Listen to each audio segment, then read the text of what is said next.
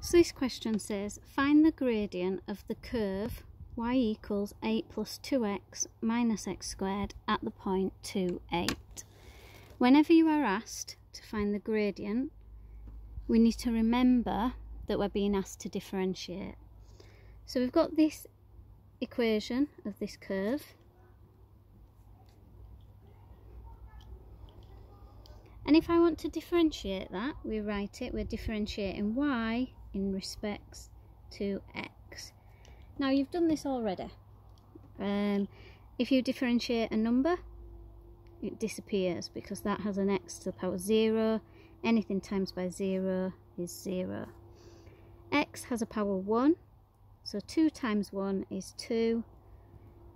Reduce the power by 1, which is x to the power 0, which is 1. 2 times 1 is 2 differentiate this, bring the power down and reduce the power by 1. So it's got a 1 there and I don't need to write it.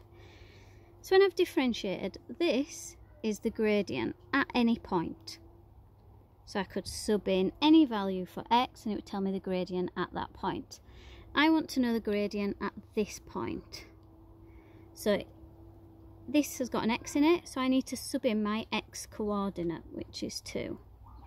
So if x equals 2 and I sub that in to my differentiated curve, 2 minus 2 times what x is, which is 2.